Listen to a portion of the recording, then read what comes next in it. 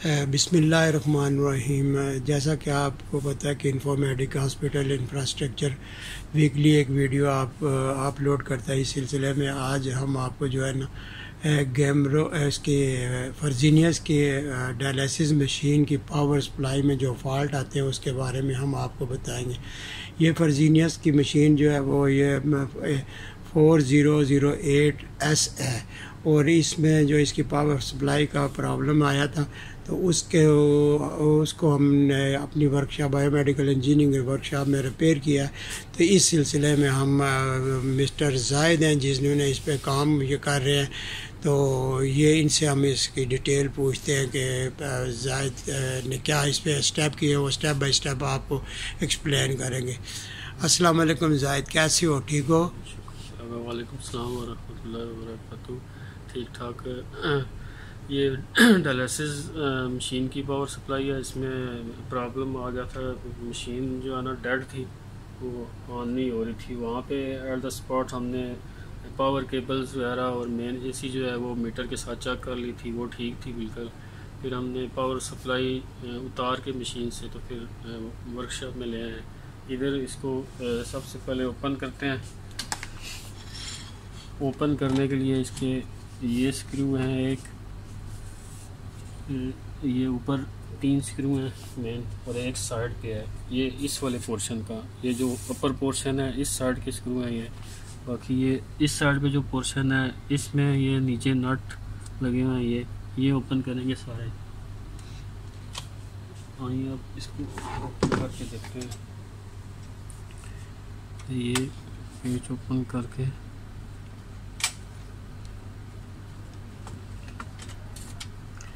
फिर ये तीनों ओपन करके फिर साइड ये। ये ओपन करके फिर ये दो इसके नीचे वाले नट हैं ये भी ओपन करके ये एक साइड इसकी आ जाएगी ओपन हो जाएगी। इसमें इस होल से ये पावर केबल है डाटा केबल मशीन की ये निकाल लेनी है।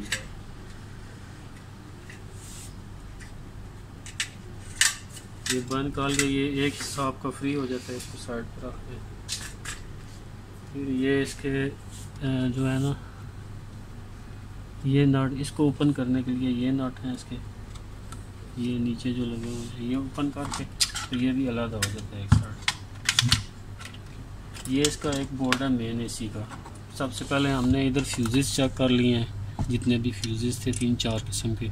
ये मेन इंटरफेस बोर्ड है जहाँ से मेन एसी आउट होती है। इसके अंदर प्रोटेक्शन सर्किट्स भी हैं सर्च प्रोटेक्शन सर्किट्स और फ्यूज़ वगैरह भी लगे हुए हैं। यहाँ से मेन एसी आउट होके वो स्विच पे आ रही है, इस स्विच पे। ये मेन एसी आउट होके ये वाली, ये स्विच पे आती है।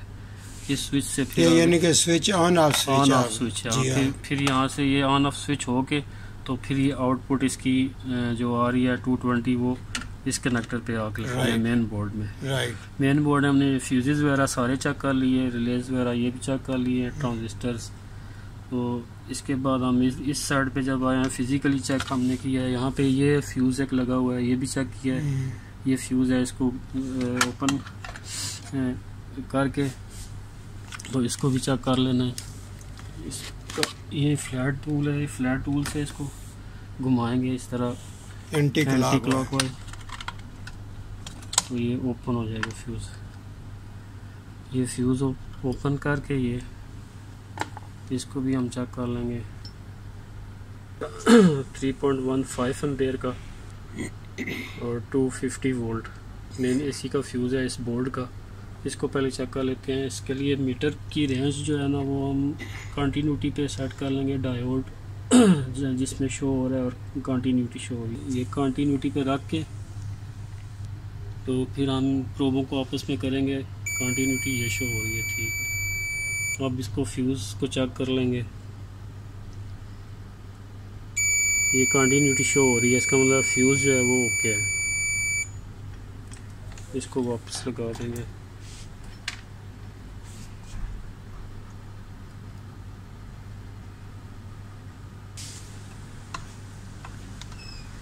ये वापस लगा के। फिर एक फ़िज़िकल चेक कर लेंगे हम कैपेसिटर्स को फिर इसके बाद मेन फ्यूज़ चेक करने के बाद इसको हमने फिज़िकली चेक करना है। फिज़िकली जितने भी ये कैपेसिटर्स हैं, इनको चेक कर लेना है।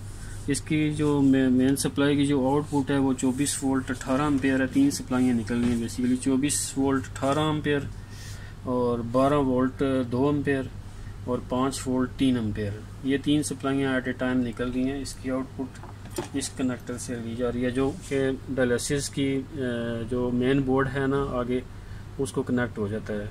ये, इस, इसके अंदर से तीन सप्लाइयाँ आउट हो रही हैं। तो फिज़िकली जब हम चेक किया ट्रांसफार्मर ये स्विच मोड पावर सप्लाई है। ये दो switch mode power supply transformer लगे हुए हैं। और एक 24 वोल्ट है 12 वोल्ट है और 5 वोल्ट है 5 वोल्ट का। इसको फिज़िकली जब हम बेसिकली चेक किया था तो इसमें ये जो कैपेसिटर है ना बड़ा ये मेन इस ये कैपेसिटर जो है ना लीकेज था। इसका इसका मतलब है कि देखने में तो ये ठीक लग रहा था लेकिन ये अगर इसका आप पोर्शन देखें तो ये थोड़ा सा जो है वो हुआ हुआ है उभरा सा है। तो ये आप आपने फायर फाइंडिंग में ये चार सौ पचास वोल्ट तीन सौ तीस माइक्रोफेरेट का कैपेसिटर है। ठीक है। तो ये हमने परचेज करके इसको ये रिप्लेस कर दिया मैंने तो अभी फिज़िकली और कोई इसमें फॉल्ट नज़र नहीं आया।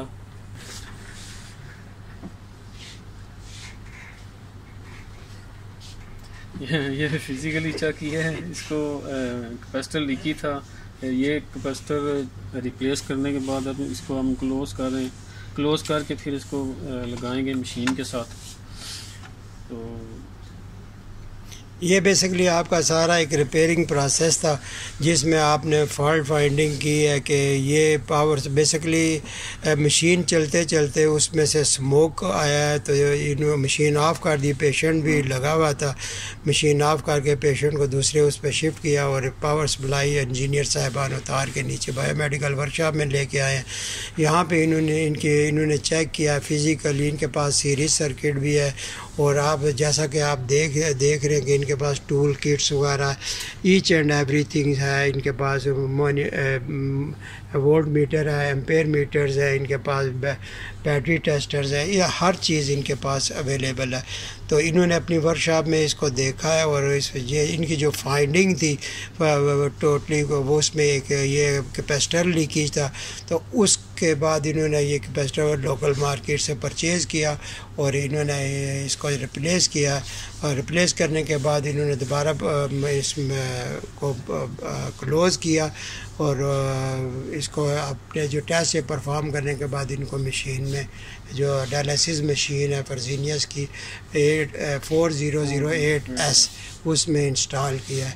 तो ये एक छोटा सा एक डेमो था काइंडली इस चैनल को सब्सक्राइब भी कीजिएगा और लाइक भी कीजिएगा, शेयर भी कीजिएगा और जो भी आपकी क्वेरीज हो चैनल पे आप डालिएगा, हम ज़रूर आपको इसका आंसर देंगे। Thank you very much.